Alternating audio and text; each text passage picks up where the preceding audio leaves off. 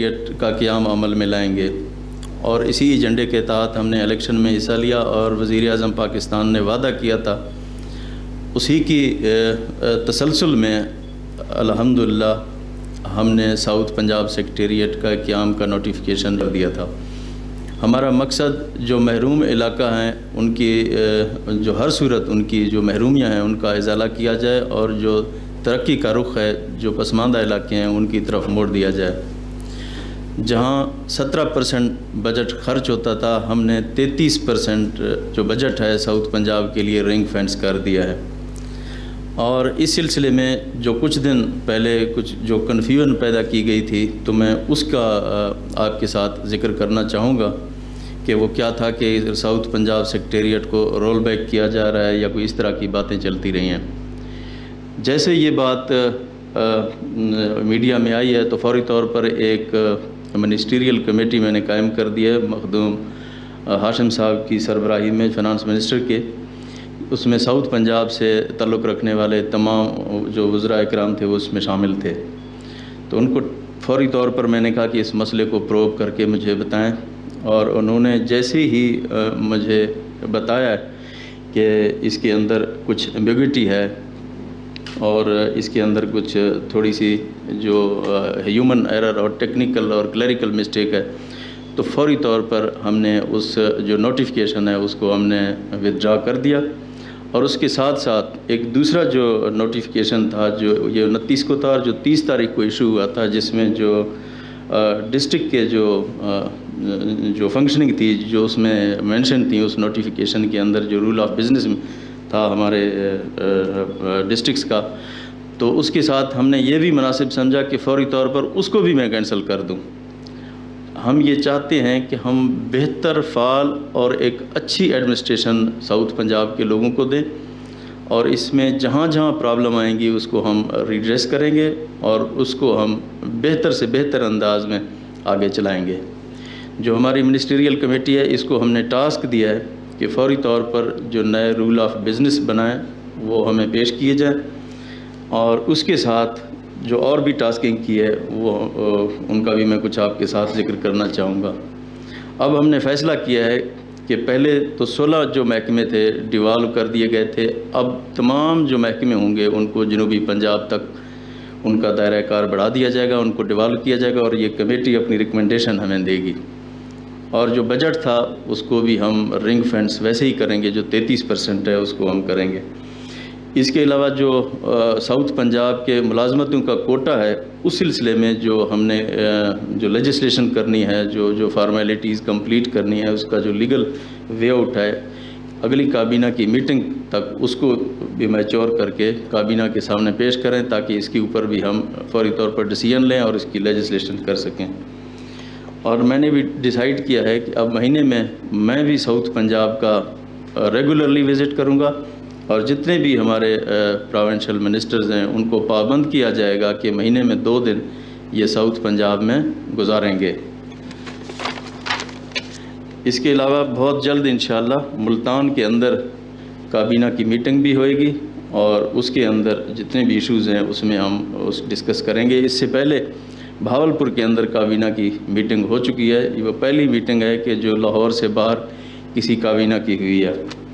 हमारा मकसद ये है कि फौरी तौर पर हम जो साउथ सेक्रेटेरिएट है, जिसका हमने लोगों के साथ वादा किया है इसकी मुकम्मल फंक्शनिंग करें और इसको बेहतर से बेहतर तरीके पे चलाएँ और इसके लिए किसी किस्म की रुकावट को हम आगे नहीं आने देंगे और ये तमाम जो टास्क है इसके लिए जो हमारी ये मिनिस्ट्रियल कमेटी है, ये फौरी तौर पर एक हफ़्ते के अंदर इन ये हमें अपनी तजावीज़ देंगी और उसको लेके हम आगे चलेंगे।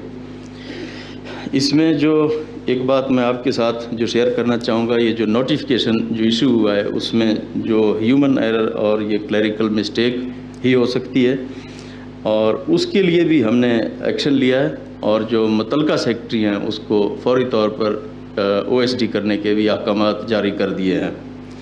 और यही हमारा मंशूर है कि हम जो जो साउथ सेक्रेटेरिएट है और जो जनूबी पंजाब के इलाकों का जो हक है और जो वसाइल की तरक्की महरूम इलाकों तक पहुँचानी है, वो हमारा अज़म है और यही हमारा एजेंडा है और उसी को लेके इन हम आगे चलेंगे। इसमें किसी को भी किसी किस्म की, किसी कोई गलत फहमी में न रहे, न किसी किस्म की एम्बेगटी है और जो तमाम लीगल प्रोसेस होंगे उसको हम कंप्लीट करेंगे और हम अपने मिशन में आगे बढ़ते रहेंगे इन बहुत शुक्रिया। वज़ीर अला पंजाब सरदार उस्मान बुजदार मीडिया से गुफ्तु कर रहे थे। उन्होंने कहा कि हम कोशिश कर रहे हैं कि महरूम इलाकों की महरूमियों को जल्द दूर किया जाए और इसका भरपूर इजाला भी किया जाएगा। जनूबी पंजाब का सेक्रेटरीट तहरीक इंसाफ के मंशूर का हिस्सा रहा है और हम चाहते हैं कि जनूबी पंजाब के लोगों को हर तरह की सहूलियात मैसर आएँ और इस हवाले से तमाम तर इंतज़ाम भी किए जा रहे हैं। और साथ ही इस बात का ऐलान किया कि जल्द मुल्तान में भी एक अहम काबीना की मीटिंग करवाई जाएगी और ये भी कहा कि मैं ख़ुद जनूबी पंजाब का दौरा करूँगा और तमाम सूबाई वज़ीर को इस बात की हिदायत जारी कर दी गई हैं कि महीने में दो बार जनूबी पंजाब का दौरा किया जाएगा। अभी खुशरो बख्तार मीडिया से गुफ्तु कर रहे हैं। एक ये कि जनूबी पंजाब की आवाम अपने हकूक़ के हसूल के लिए अब जाग रही है। और ये शूर उस आवाम को दिलवाने में पीटीआई इमरान खान साहब की क्यादत में पीटीआई इस मुल्क की दर हकीकत एक वफाक की अलामत जमात है, जो कराची से लेकर खैबर पख्तूनख्वा खैबर तक उसकी नुमाइंदगी है और ये एक वफाक की सोच की अक्सी करती है, जिसके तहत उसने जनूबी पंजाब की आवाम को उनके हकूक़ और उनके सूबे के हसूल का अपने मंशूर में, अपने मंशूर में उसको डाला। इसके अलावा जी, मैं उम्मीद रखता हूँ कि ये जो सेक्रेटेरिएट है, इसको, इसका जो फंक्शनल इसको करना है। ये अगले दो माह के अंदर इसको फंक्शनल कर दिया जाए, या इस माली साल के आखिर तक 30 जून तक। तो मेरी इल्तजा होगी चीफ मिनिस्टर साहब से, और मैं पुरुद हूँ, क्योंकि जनूबी पंजाब की आवाम पीटीआई के साथ, और आपके साथ, और हम सब के साथ एक ख़ास उम्मीद की नज़र लगाए बैठी हैं, और जितना जल्दी हो हम उनकी इन उम्मीदों को पूरा कर सके। शुक्रिया। Thank you so much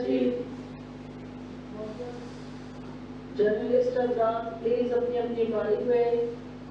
seniority wise हम आपको जमा देंगे। खाजा नसीर साहब ए आर वाई से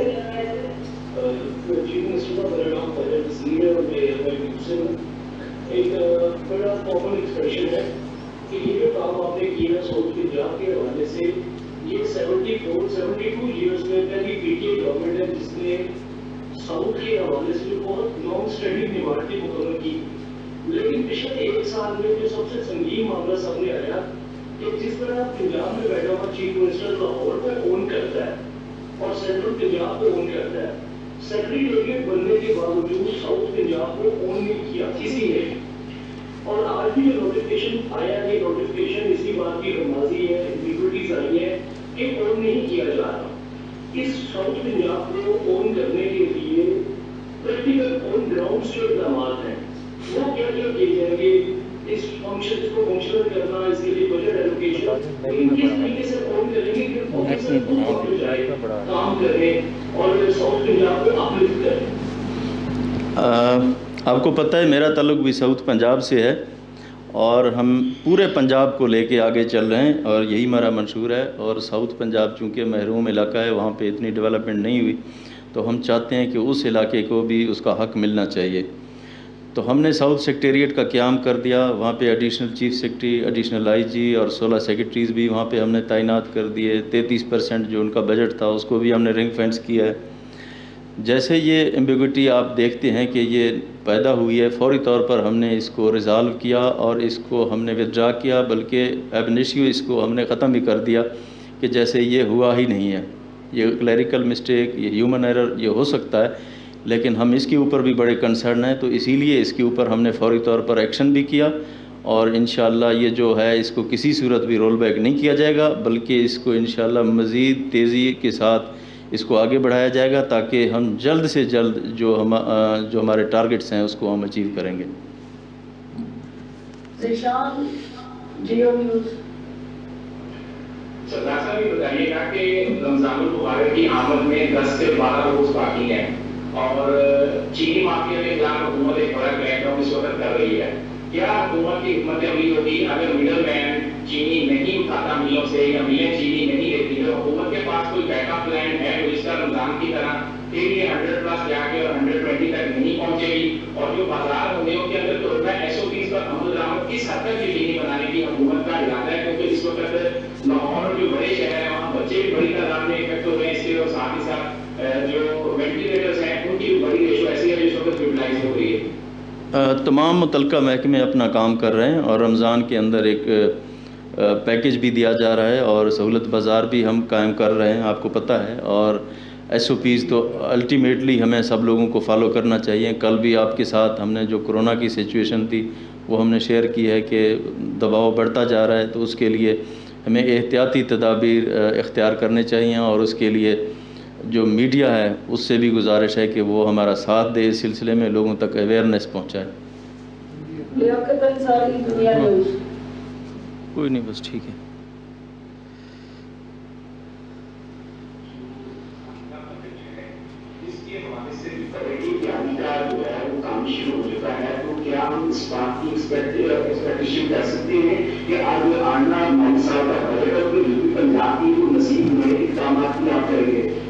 क्या हैं करेंगे? क्या करेंगे क्या करेंगे बजट और में- जी जी उसके लिए जो हमारी मिनिस्टीरियल कमेटी है इन तमाम चीज़ों का ये जायज़ा लेके अपनी रिपोर्ट हमें इंशाल्लाह सात दिन के अंदर पेश करेगी और इनकी रिकमेंडेशन को लेके हम आगे चलेंगे और इसमें तमाम जो आस्पेक्ट्स हैं उसको साउथ पंजाब के हवाले से उनको कवर किया जाएगा। असलम इकबाल एक्सप्रेस न्यूज़ जी सीएम साहब ये बताइएगा कि रमज़ान की आमद आमद है। जिस तरह आपने चीनी के हवाले से प्लानिंग की थोड़ी सी कीमत कम भी हुई उसके बाद गंदों के हवाले से भी बाज़ार कायम जा रहे हैं। मेरी रिक्वेस्ट आपसे ये बाकायदा अगर आप देखें तो फलों और सब्जियों की जो कीमतें हैं गुजशत तीन दिनों में वो फिफ्टी परसेंट अप कर गई हैं। आप कोई भी फ्रूट ले लें एप्पल ले लें बनाना ले लें, इनकी कीमतें डेढ़ से, दो सौ के दरमियान थी। जो तीन दिन पहले थी, वो हंड्रेड से भी कम थी। तो रमज़ान के करीब हम जाके अगर करेंगे तो अभी जो इजाफा होना शुरू हो गया है फिफ्टी परसेंट तकरीबन इजाफा हो गया है इसको कैसे मैनेज करेंगे ताकि उसको बदलाव कम जब लोग बाहर निकलेंगे तो प्रेशर ना पड़े उन पर ये जो सहूलत बाज़ार हम 313 से ज़्यादा जो पंजाब में बना रहे हैं तो उसके अंदर जो नोटिफाइड रेट्स होंगे उसकी उसमें इंशाल्लाह आपको तमाम चीज़ें मिलेंगी आप देखें उसमें काफ़ी बेहतरी आएगी। तो उसके ऊपर डिपार्टमेंट्स जो हैं वो अपना काम कर रहे हैं। और ये जो प्राइस चेकिंग है इस पर भी हम मज़ीद कोशिश करेंगे मज़ीद इंशाल्लाह इसको बेहतर करेंगे।